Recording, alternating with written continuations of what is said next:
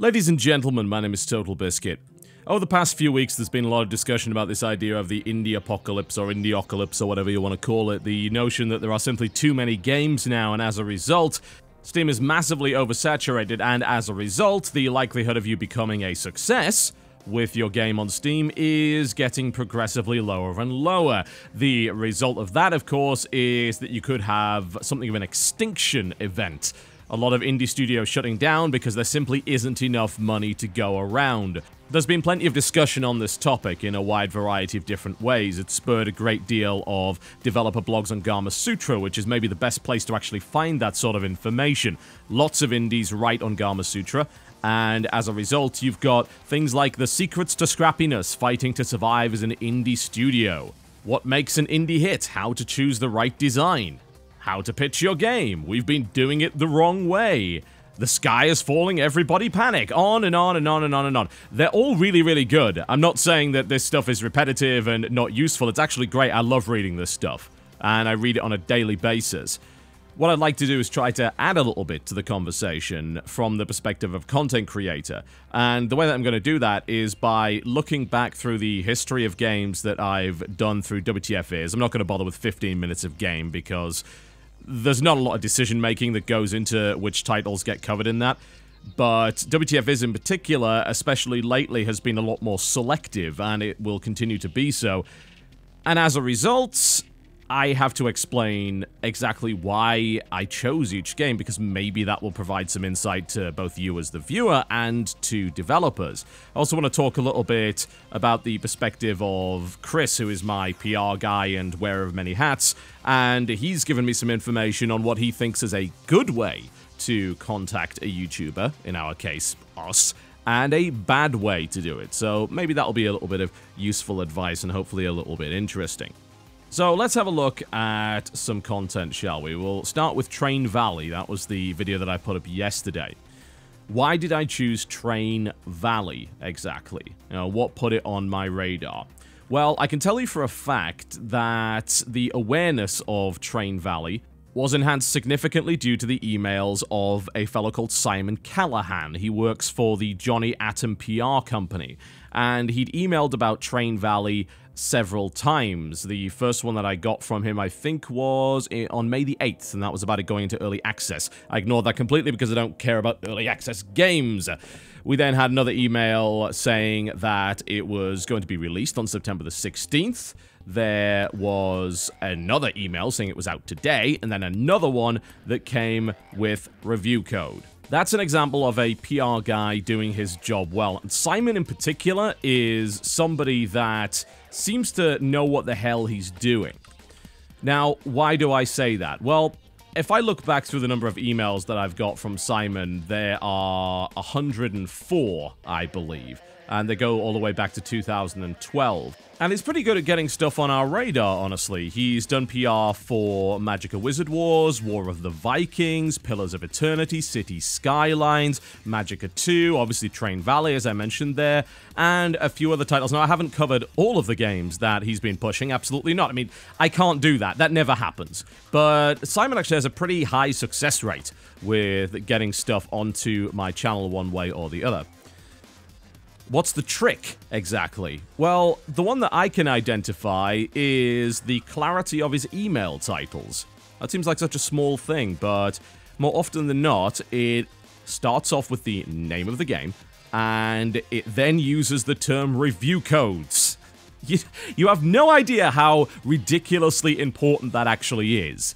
It's surprising, perhaps, to many people to hear that, but seriously, it's a great way of getting people to care if they happen to be looking to produce video content that day because it's nice and easy. It says review code. Here's a review code right here. This is exactly what this email contains. Nothing else. And then I'll go into that click it, and I'll see some more information about what it is. Maybe there'll be some trailers and all that sort of thing.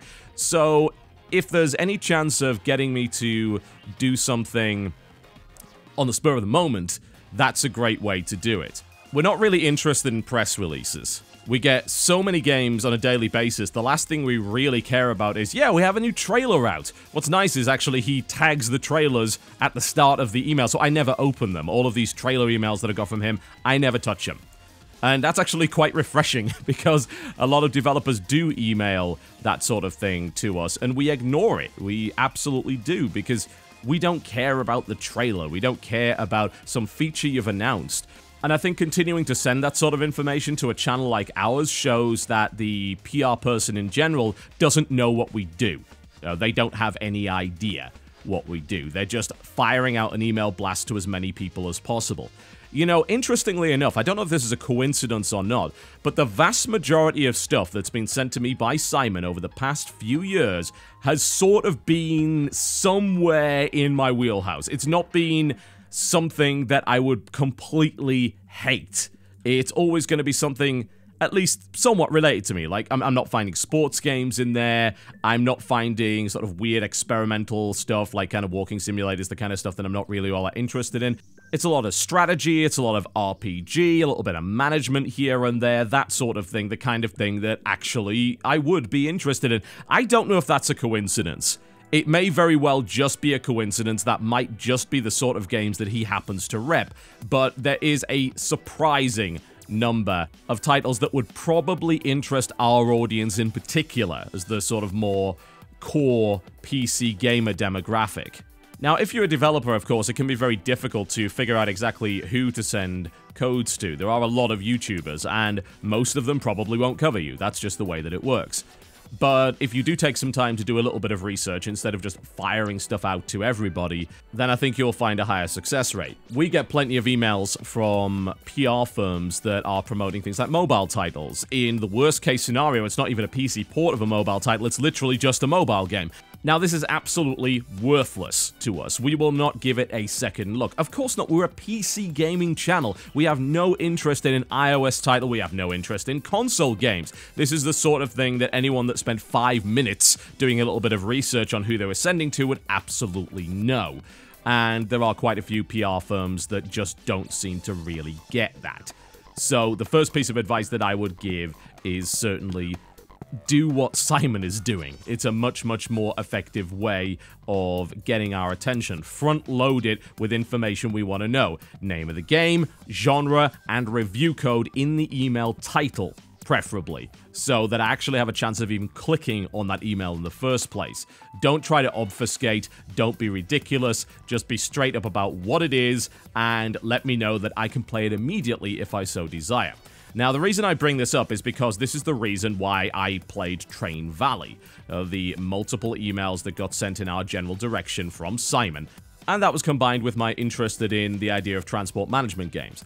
I'm terrible at those sort of games, but I love them anyway. OpenTTD is one of my favorite games of all time, so if I see anything like that, then I will have more interest perhaps than I would in something that was not that genre this isn't really something that an indie game developer can help. You know, if they've started developing a platformer, then they're not going to change it into some sort of real-time strategy or the kind of management game that I'd be interested in halfway down the line. That's insane. That's ridiculous. But in this case, Train Valley was covered because I took a look at it, thought, okay, I like Transport Tycoon Deluxe, maybe I should have a shot at this. And also, intriguingly enough, the reason that I went through with it was due to Steam reviews. Now again, this is not something that's really inside the control of the developer. This video is not purely advice. It's just to try and give you an insight into my thought process. When I went to the Train Valley Steam page, the top rated review was negative. And I read that review. And I was intrigued because I thought, hmm, interesting. My initial impression of this game was incorrect. And it seems that the perhaps the impression of the person that left that review was also incorrect. They had a level of expectation that wasn't met. So that intrigued me because I wanted to know exactly what the game was at that point. I initially thought, okay, it's a sort of train management game, maybe like Train Fever, or OpenTTD. But it's not. It isn't that at all. So I decided to dive in on it because I was intrigued. I wanted to know what it was. That's a key point because Train Valley is different. You know, if it was something like OpenTTD, I probably still would have played it, absolutely. But the fact that it wasn't actually got me even more interested to try and find out what it was. And in that case, I went into the game thinking, well, if there's a weird disconnect between what the players are thinking and what the game actually is, you know, their expectation versus the reality of the game, then that's something that I think would be great to explain in a video. So I went into it for that reason. And as it turned out, I thought it was really interesting. I was surprised that I actually enjoyed it, even though it wasn't what I'd initially expected it to be. So that's a sort of explanation as to why Train Valley got covered. You know, it did help, of course, that it was on the front page of Steam at that point. That always helps. If I can get a game while it's still under popular new releases, I will do that because it's better service to the game, it's better service to the consumer because they want to know what the latest is, and it's also good for me because I tend to get higher views on games that are on the front page of Steam versus those that are not. So there are practical reasons for that. Okay, let's move back to Mad Max. This should be a really obvious one. This is obviously also outside of the control of indie devs for the most part, although there's maybe a little piece of advice I can give on that. So Mad Max is a AAA title. Simple as that. It's one of two AAA titles that came out on the same day, one of those being Metal Gear Solid and the other one being Mad Max. Now, the reason I decided to cover Mad Max, not Metal Gear Solid, is simply because Mad Max is an easier game to get to grips with, and the problem with Metal Gear Solid is the game is freaking huge, and I have no experience with Metal Gear Solid at all. So for me, I decided, look, I'm going to go for Mad Max first because it's more practical. As a result, it probably means that I won't cover Metal Gear Solid, but frankly, by the time that I'd even got a reasonable grasp on that thing, I think my opinion would be past relevance. I know people would still watch the video, but I do like to create my videos as buyer's guides, and if everyone's already bought it, then there's really no point in doing that. I don't do critique for critique's sake. I'm not that sort of person. A lot of what drives the games that we choose to do is practicality and current relevance. One thing I will say about Mad Max is that I was definitely driven on to do the video, even though it was somewhat late, by the fact that there were mixed reviews and this dissonance between the opinions of the general consumer and the opinions of some critics. I found that interesting, and that made me more likely to go in and try and figure it out for myself. And honestly, Mad Max has done pretty well for us. I mean, we did three videos on it, which clocked in over a million views. That's a, that's a big success. So I am certainly happy to see that. But it's not really unexpected that I cover AAAs. I do when I get the opportunity to do so. There are some that I miss out on, which sucks, but that's just how things go. Okay, let's move back to Party Hard. So, Party Hard, this is a title that got my attention as a result of how unique it is, of how different it is. It had a very interesting principle behind it. Now, this is again not a game I just stumbled upon. This is a title that one of the folks over at tinyBuild sent. Alex over at tinyBuild was promoting this game. And once again, what do we get? We get a pretty damn good email. In this case, the email is headed up by a large gif of a dancing bear next to a clown. And immediately under that, my Steam key, right there. So not only was that something that immediately caught my attention because of the goddamn dancing bear, but also the fact that it had the Steam key right there so I could dive right into it, which was fantastic. Really, really happy with that.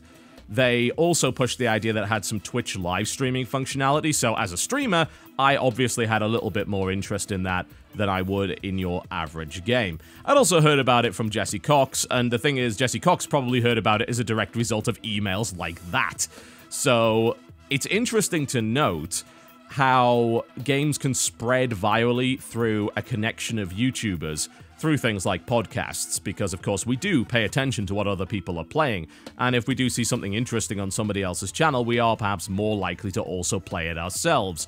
So it's almost a case of trying to hit up YouTubers that are known to frequently collab with others, that are fairly well respected, and are watched actively by other YouTubers. You know, I have to wonder if that's the reason, or at least part of the reason, behind some of the lack of success of games that have been promoted by really big Let's Play channels and yet don't seem to have really affected the sales all that much. I wonder if that's got something to do with it, because I'm going to be honest, I don't think there are all that many YouTubers that watch your big Let's Players like PewDiePie, because usually we're much, much older than the audience that he's aiming for. We might pay attention to his channel because obviously he's a trendsetter, and there are some channels that will deliberately ape what he's doing in order to try and ride on the coattails, but a lot of us just don't watch those channels. So we don't really hear about games that are coming through there. Whereas if they're played on perhaps a channel that we're more interested in that's more suited to the demographic that we ourselves are a part of, then we're more likely to pay attention to that sort of thing. I don't think, again, that's something you can really predict properly as a developer or a PR guy, but I just think it's a useful little factoid nonetheless.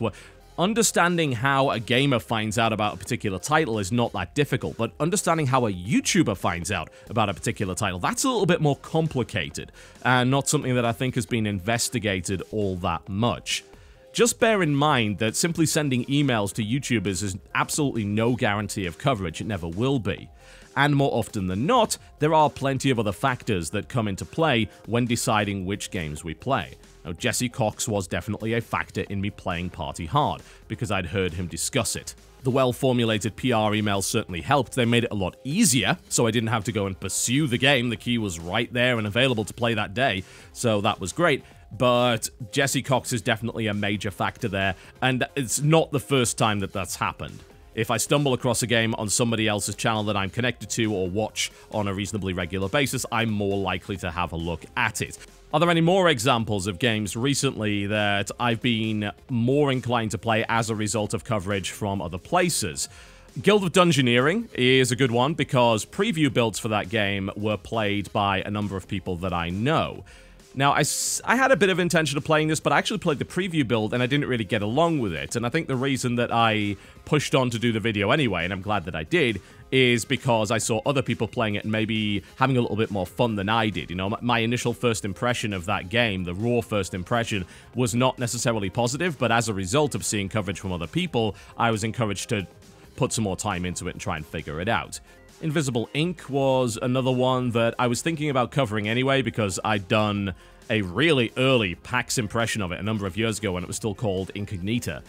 And I saw a number of other YouTubers giving it a shot, and since it was in early access for a while, and I was waiting for it to come out, that's maybe what pushed me over the edge there. So it can happen. It's not necessarily that common, at least for me, but I also have a feeling that if I cover a game, there are definitely other channels that will also do that. You know, you see a bit of a crossover between Jesse Cox's Fan Friday stuff and the things that I do, and there's a reason for that, absolutely, because I know he pays attention to what I do, and I pay attention to what he does, and of course channels like Dodger also do the same thing. I think we both started kind of playing the swindle because it came up. I'm pretty sure I mentioned it, and then she started playing it, and then pl I played a bit more because she played a bit more, and all that sort of thing. So maybe there is a piece of advice to be given there. Maybe when you're thinking exactly about who to market to, you should probably be looking at YouTubers that do regular collabs. You know, YouTubers are not standalone, they're often part of groups that will either play together or whose tastes are directly affected by each other. And learning who those little cliques are could be the difference between one person playing a game and three or four people playing a game. Anyway, moving on. So, The Flock. Why did I cover The Flock? This was about controversy. Controversy and an interesting idea. Standing out from the pack is something that we've talked about a great deal, and we talked about it with Airscape and how that game failed to stand out from the pack, even though it's a pretty decent game nonetheless. Now, The Flock is actually a bad game, but it's got a really interesting concept behind it.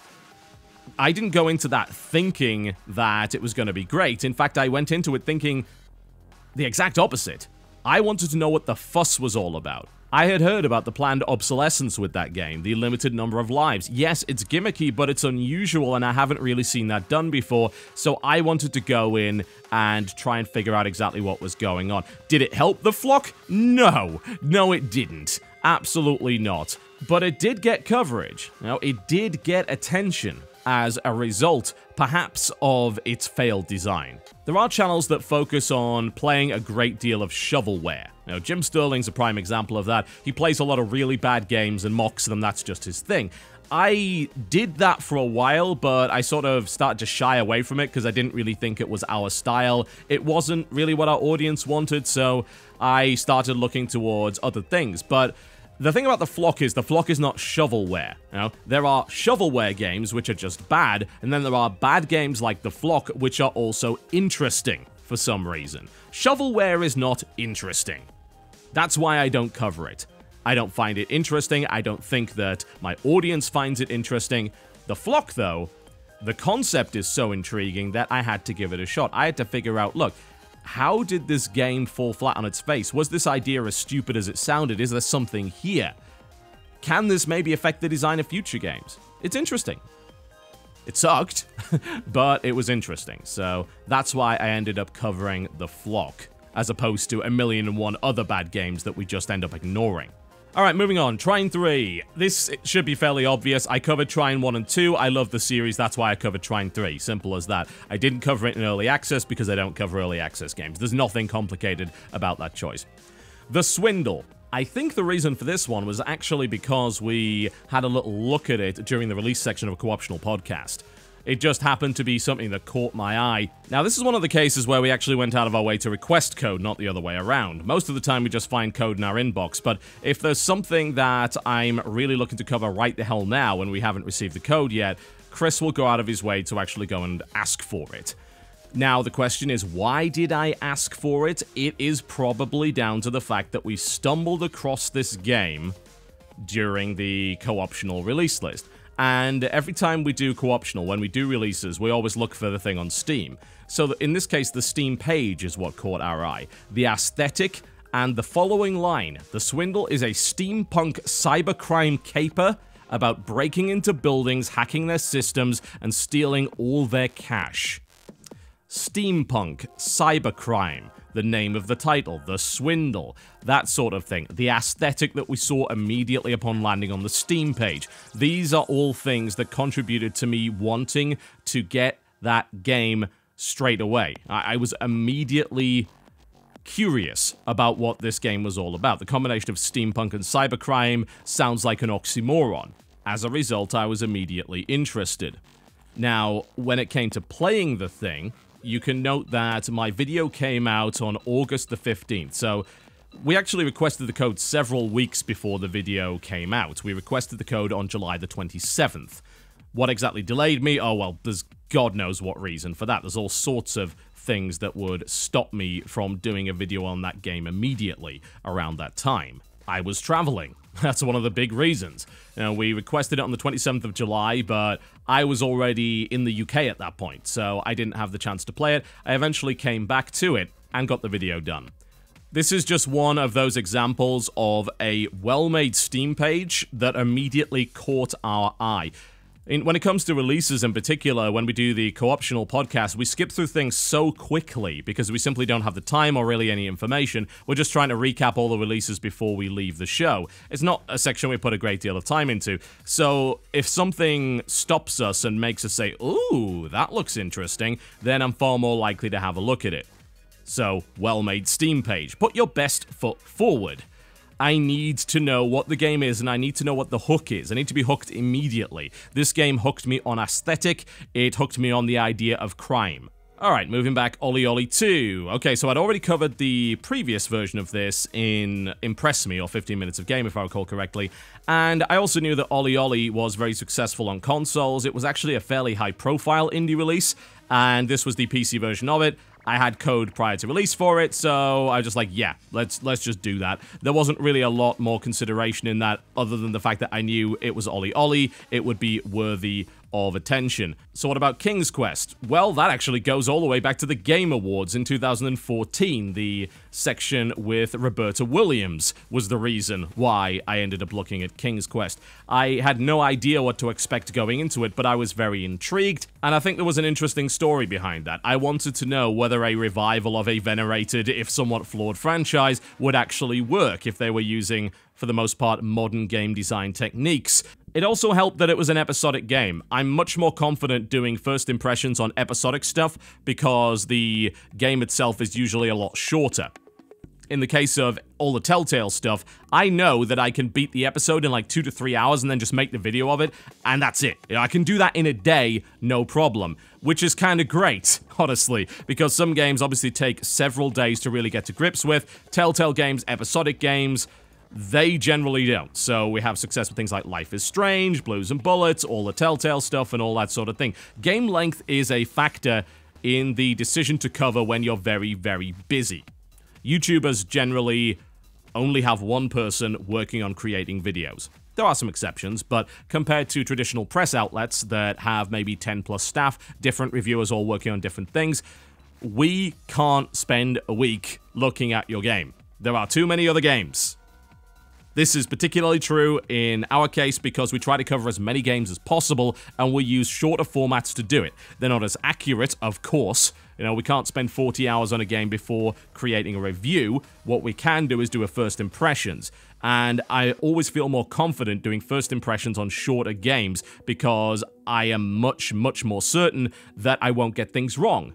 There's always a risk with first impressions. That's why I repeatedly disclaim the format and say, look, this is just a tool in the toolbox. Please, Use it alongside other information. Do not take this as gospel. I haven't finished the game. It's not a review. But a shorter game gives me a lot more confidence to go into that, and it's something I know that I can just pick up, do in a day, complete the video, and then move on to the next thing satisfied.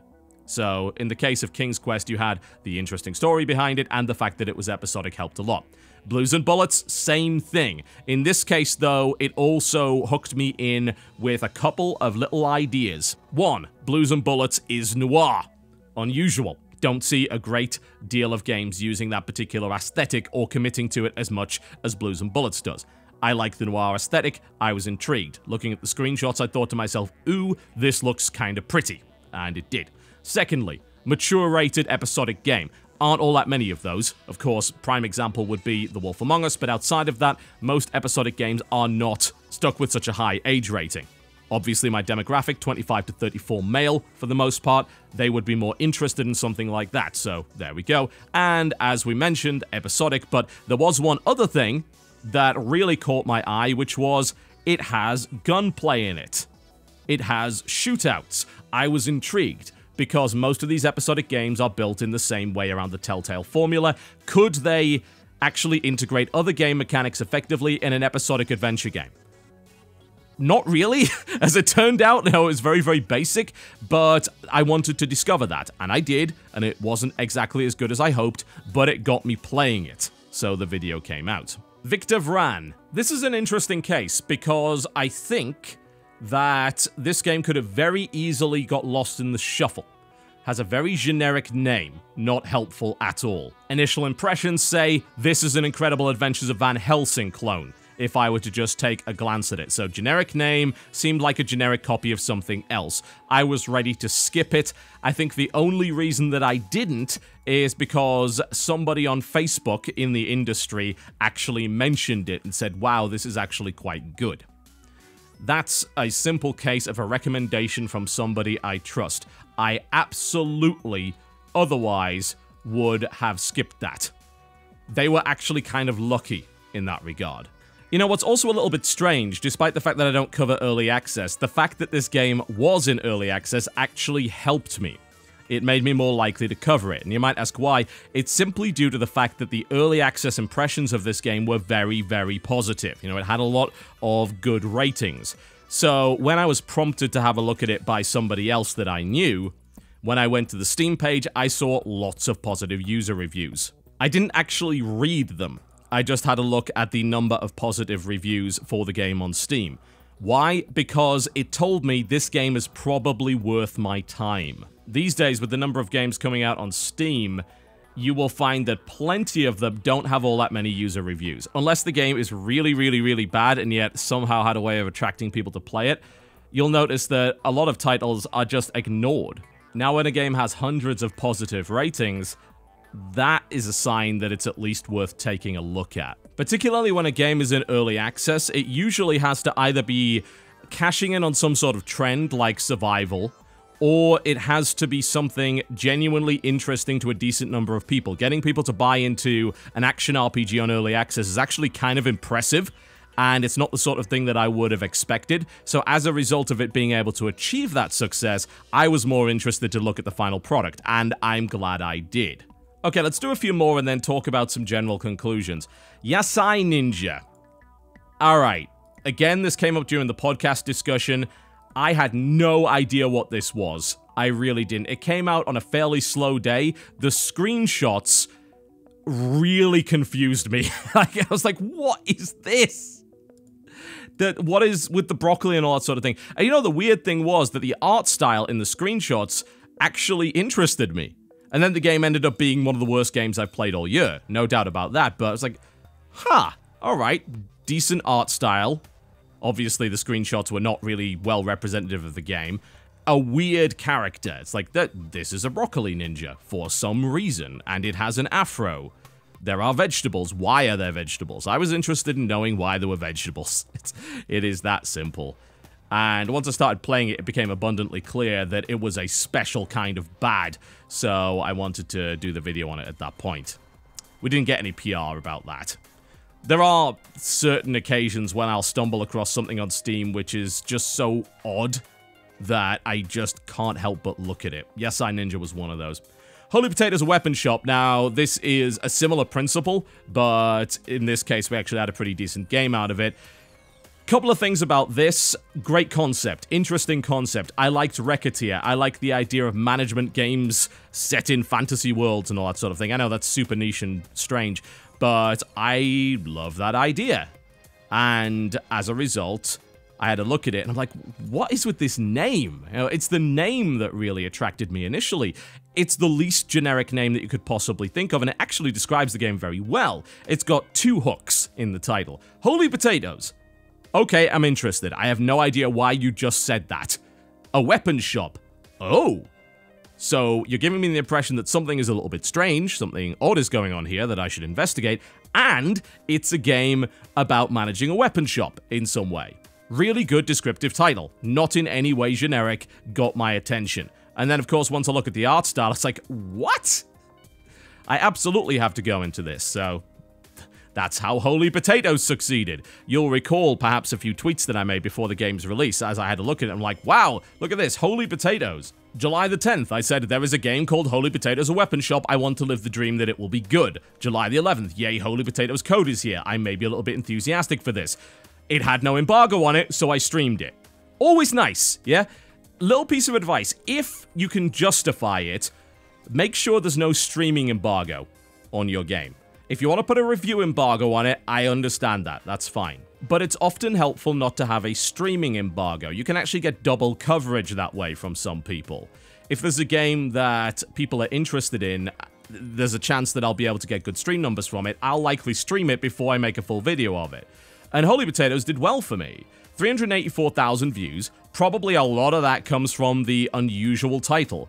It's a similar principle to the reason why I got interested in the game in the first place, and viewers were interested in it because of its weird title.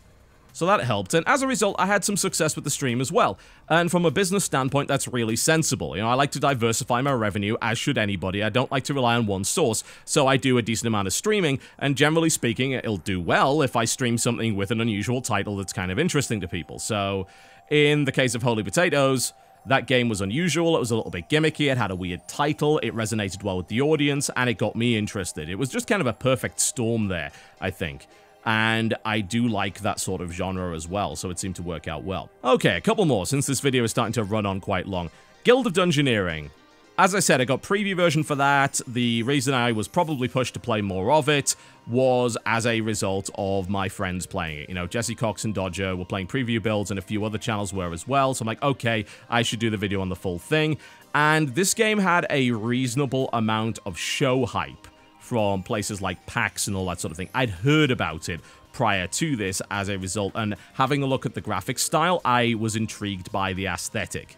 If you go to Guild of Dungeoneering, it has a couple of little hooks again on the Steam page. One of them is the aesthetic, and the other one is you build the dungeon around him. Again, this is something that I didn't quite get, like I had the wrong impression of, but because I like games like Dungeon Keeper, I thought immediately, oh, you get to build a dungeon, that sounds great, and all that sort of thing.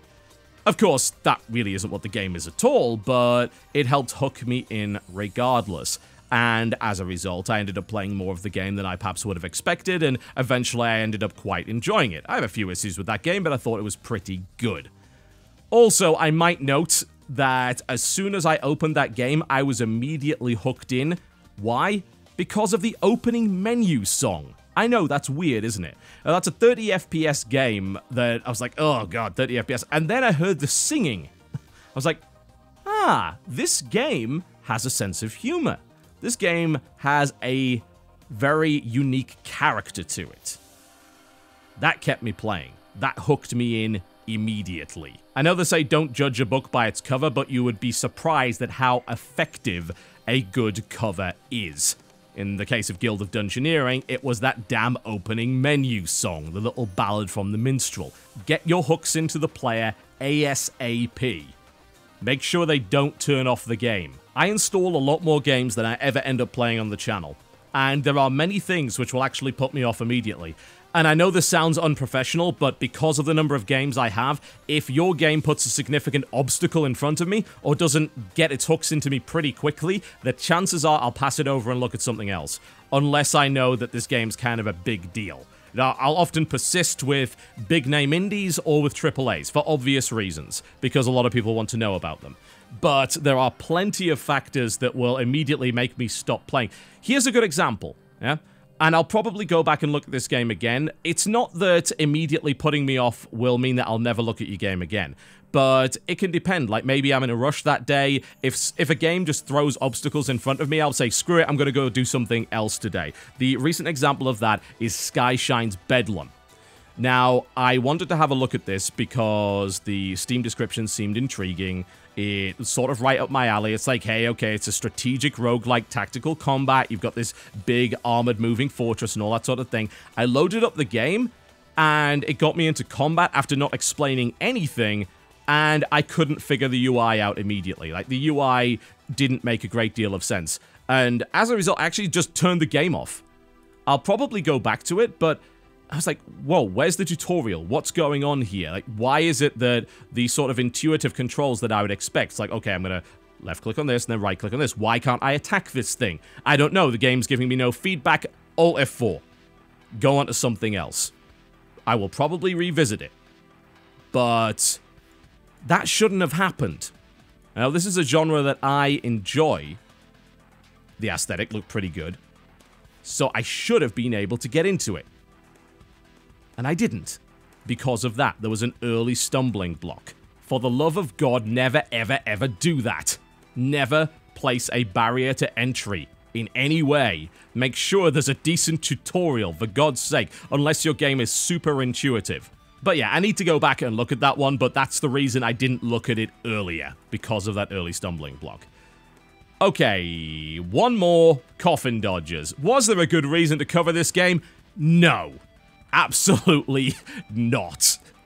But I did it anyway because I was in a hurry that day and I needed something for the channel. That simple. That game did not market itself well to us. There was nothing really special about it.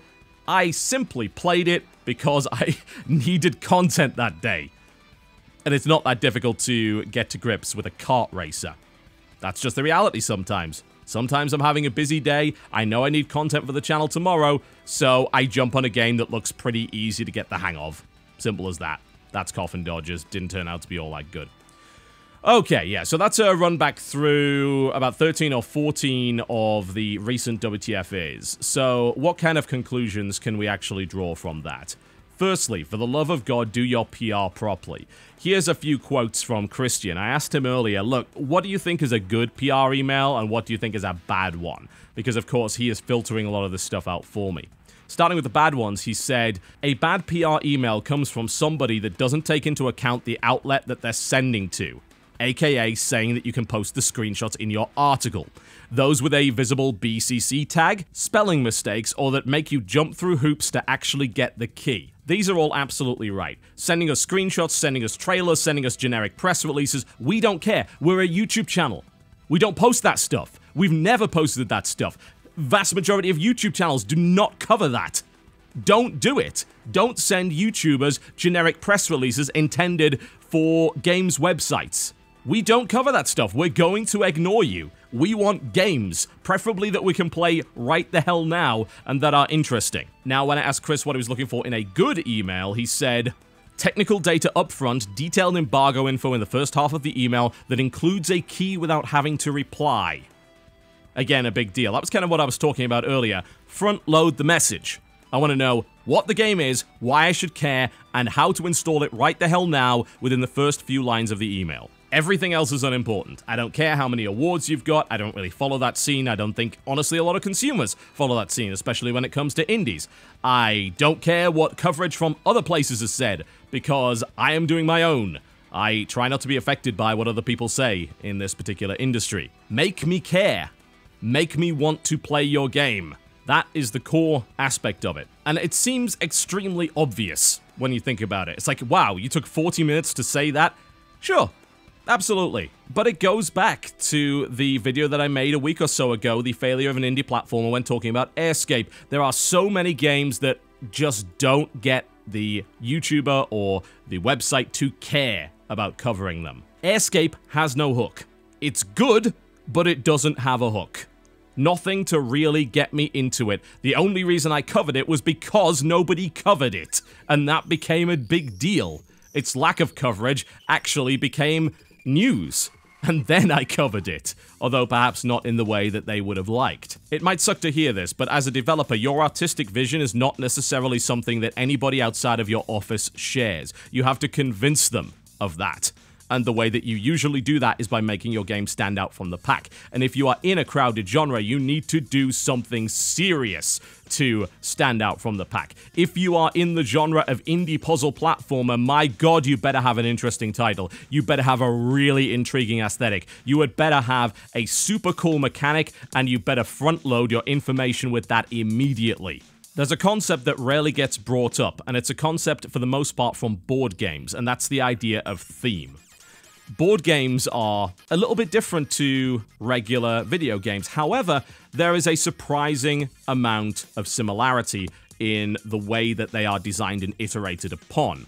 Board games have something called rethemes. Now, rethemes are the idea of taking an existing set of mechanics and changing the theme of the game, changing the setting. An example of this is a game called Imperial Assault. It is a Star Wars dungeon crawling board game. It is considered a retheme of a popular dungeon crawler called Descent. Now, Descent is a good game, but I am not so interested in playing it because, hey, it's a fantasy dungeon crawler. A Star Wars dungeon crawler, on the other hand, now that I'm interested in. And as a result, it's done very well because, of course, a lot of other people are very interested in that. There are some games that live or die based on rethemes. The popularity of Munchkin is a great example. They have done all sorts of different rethemes and they've worked with different creators. And each time they do that, they expose Munchkin to a new audience that is not necessarily interested in Munchkin, but they're interested in a game that has a theme that they care about. Now, Love Letter, which is a very popular sort of intro game, very quick game, has been rethemed multiple times. There's a Batman Arkham version of it. There is an Adventure Time version of Love Letter. Now, why am I even mentioning this? Why does this even come up? Because theme matters a huge amount. Remember what I was talking about with Swindle? The theme is what got me playing in the first place. Cyber crime steampunk. What is that? I am too interested in having a look at that sort of thing. I'm a sucker for Warhammer 40,000. I'll buy a 40k retheme of pretty much anything, whether it be a board game or a video game. A lot of them suck, but I'll buy them anyway because I love 40k that damn much. It can really sting to hear that because, of course, a lot of developers want to develop their own original ideas and IP. But I don't think there's a shadow of a doubt when I say it will help your game immensely if it happens to be themed in an interesting way. I think Airscape is a great example of a game that basically has no theme at all. What's with the octopus? Why is there an octopus? Why are we playing this game with an octopus? That game basically has no theme at all. It has no aesthetic really to tie it together. And yet many of the games that I've talked about that I have covered over the past few months that I've been interested in covering are as a result of something standing out to me, and it's more often than not something to do with the theme. Either a key mechanic that is unusual and attractive to me, or the overall theme, aesthetic, and setting for the game. I'm more likely to cover your Star Trek puzzle platformer than I would a regular puzzle platformer.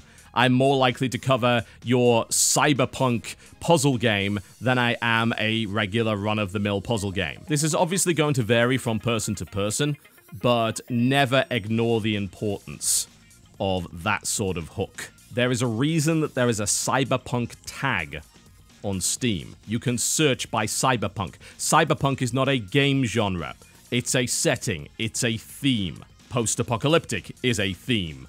Sci-fi is a theme. It's as the Airscape developer said, making a good game is simply not good enough anymore. Hopefully that was in some way useful. I don't know how really insightful that is because my process is obviously going to be different to pretty much everybody else's. The focus of my channel is different to many people. There's going to be a difference between the games that I choose to cover versus the games that, say, Let's Players choose to look at. There are many different factors involved in choosing those titles. But what's important to know is that there are factors. There was a recent article on Steam Spy that said your target audience doesn't exist. To some degree, I would disagree with that overall statement. The article was referring to groups like, say, MOBA players and core gamers and MMO players and so on and so forth. And it very well might be true in that regard, but there absolutely is a target audience for specific themes, and that's something that people can tap into understanding exactly who you're aiming at is a big deal. You can't simply throw a game out and expect it to find its audience on its own. You need to have an idea of the sort of person that would enjoy it, and you need to figure out exactly why they would enjoy it and why they would even give it a look in the first place. YouTubers and streamers and indeed gamers want to care about games. They do, they're enthusiasts, there's no doubt. You have to make them care about yours. There is no surefire way of doing that with every single person. But perhaps that went some way to explaining exactly how it works with me. My name's been Total Biscuit, thank you very much for watching, and I'll see you next time.